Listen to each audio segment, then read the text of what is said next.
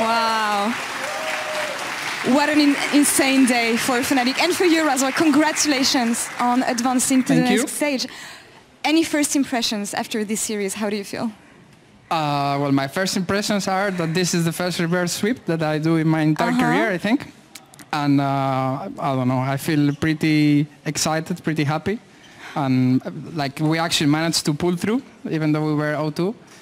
Yeah, uh, I don't know, this is my first impressions. That's amazing, honestly, and congrats on, on pulling this off. I mean, I know that Roxas, before the last game, was talking about what's happening backstage and what are going to be the speeches that the coaches are going to give you to be in the best conditions to tackle this game. Tell me about what Yamato and the whole mood for the team before tackling Game 5 and getting to the Rift.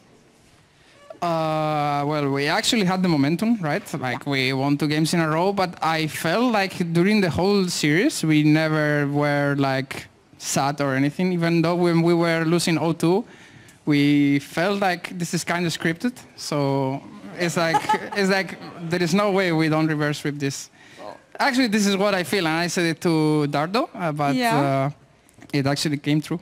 Well, thanks for leaking the script. My producers are going to be really happy about this, I guess. But um, talking about the momentum, as you mentioned, um, even though you were focused and you were you were sure that you could make it through, it takes something, I feel, to come back after being 0-2. What did it take for you to get back on the horse and win the next three games? Mm, I guess just uh, being focused and trust your team. I think we all believed that we could uh, make it, and that's why we actually didn't give up. Like uh, I think the third game was actually so close. Like if they if they win this game, it's like a solid 3-0 from them, and then we look like really bad. No, but uh, we actually won this game. Then we actually started playing better. We got some confidence, and then uh, in game five, anything can happen. We came with the momentum and we actually got the win. I think it's interesting that you, you mentioned trust because um, when I think about the drafts, especially from red side to blue side, we know how usually blue side is favored right now. But what I found interesting is that in game three, game four, you went back to the kind of comps that made you lose the first two games. I'm talking about Lucian Nami here especially. So you mentioned trust, but what made you sure that going back to these kind of champions on which you lost the game would be successful this time around?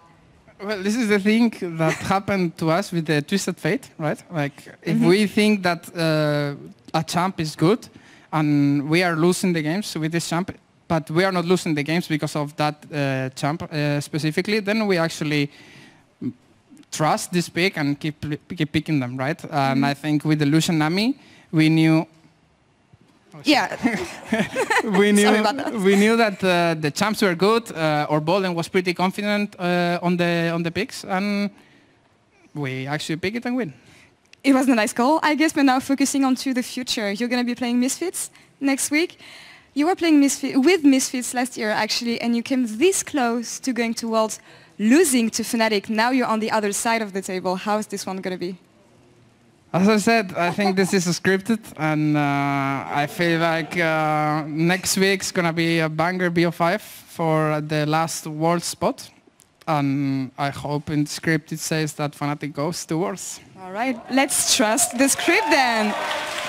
Razork, thank you so much for the interview. I'll let you go rest and go backstage now. Thank you. Congrats again on taking down Excel, and we're going to take a short break now. And we'll be back in a couple minutes for post-game lobby with Shocks. Stay tuned. Uou!